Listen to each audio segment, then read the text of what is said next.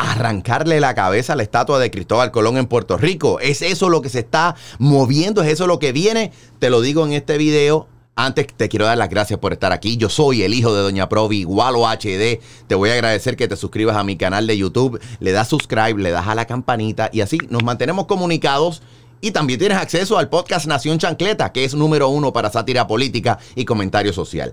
¿Qué es lo que se está moviendo? Con todas las manifestaciones antirracistas en muchos lugares del mundo, no solamente en Puerto Rico, Estados Unidos, sino en general en el mundo, donde haya una estatua que le rinda honor a una persona que en algún momento dado vendió, eh, traficó, con vidas humanas para la esclavitud, las están tumbando, las están derribando. Algunas cosas las, las están haciendo en ley y orden, en términos de que los pueblos o ciudades eh, pues han pasado resoluciones o leyes para para guardar las estatuas, destruirlas, decomisarlas, lo que ustedes quieran. Y en otros momentos, pues el, el propio pueblo el que ha tomado acción y van arrancando literalmente cabezas, como si fuera aquel capítulo de Los Simpsons de los años 90, en donde le volaron la cabeza a la estatua del fundador de Springfield, eh, Springfield creo que era que se llamaba. Pero bueno, en una nota seria, eh, está pasando en Estados Unidos, en muchos pueblitos. Hay estatuas de Cristóbal Colón. Bueno, Cristóbal Colón, por ser la persona que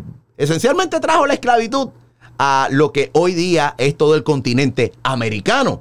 Y por eso es que dicen, no, se le puede rendir honores a Cristóbal Colón, esto y lo otro. Y están tumbando cabezas por ahí para abajo. Yo digo, espérate un segundo. Tú sabes la cantidad de Cristóbal Colón que hay en toda América.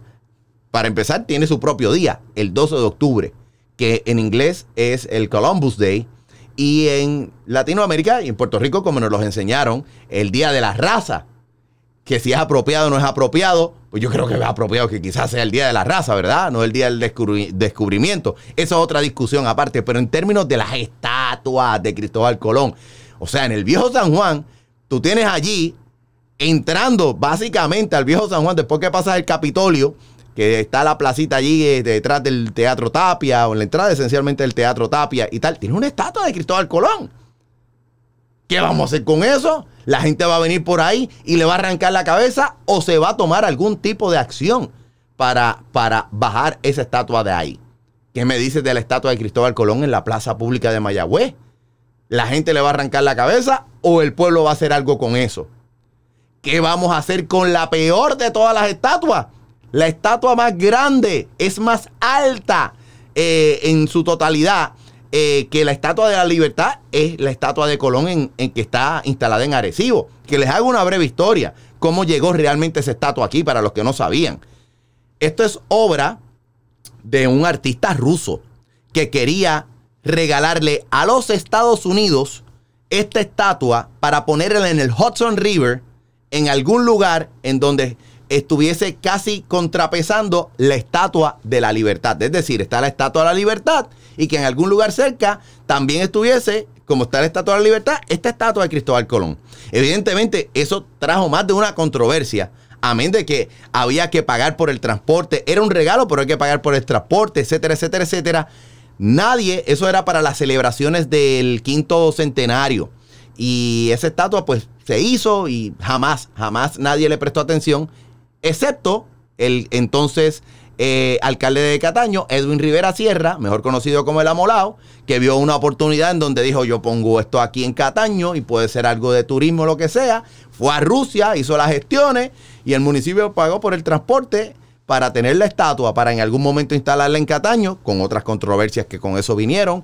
Eh, tuvo esa estatua allí almacenada, desmontada durante años, décadas, lo que fuera, y se perdió dinero, almacenaje, lo que sea, y después al punto actual en donde Arecibo la agarró y la pusieron allí, y, y lo que sea. Pero si estamos en la fiebre de descabezar, esto es tremenda cabeza para arrancarle a Colón. Y ya yo me imagino que a lo mejor si esa cabeza es hueca, a lo mejor podemos hacer el alambique más grande del mundo con la cabeza de esta estatua de Colón.